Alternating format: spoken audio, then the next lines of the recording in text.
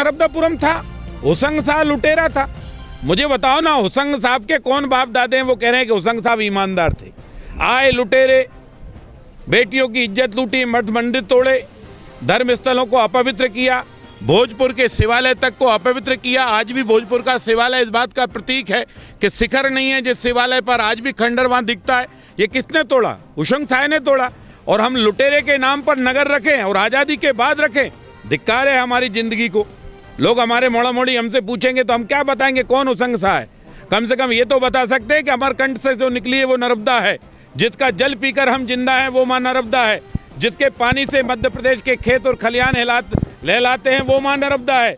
और जिसकी जीवन रेखा माँ नर्मदा है, उसके नाम से अगर नगर पुकारा जाएगा, हालाँकि सरकार ने वहाँ नर्मदापुरम संभाग बनाया है, लेकिन वहाँ के नागरिकों ने अब मांग शुरू कर दी है कि होशंगाबाद का नाम परिवर्तित करके नर्मदापुरम के नाम से ही पुकारा जाए।